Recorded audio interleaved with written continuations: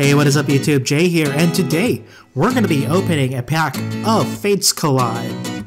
Now with Fates Collide, what do we really want with this one? Let's see, Alakazams, Mega Alakazam, those are good. The uh, evolutions from this set, um, Umbreon and Glaceon. I think Umbreon is the most expensive in this set.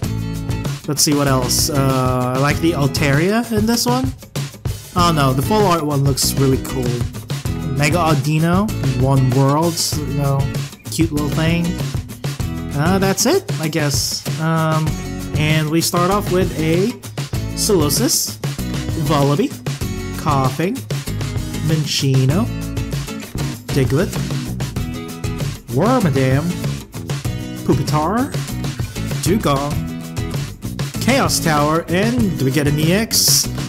A White Coom. Nice! Something shiny. Look at that shine. The holographic on this card is really good.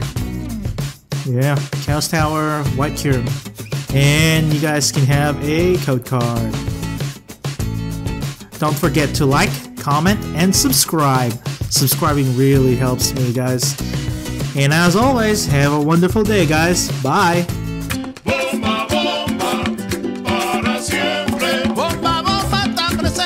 I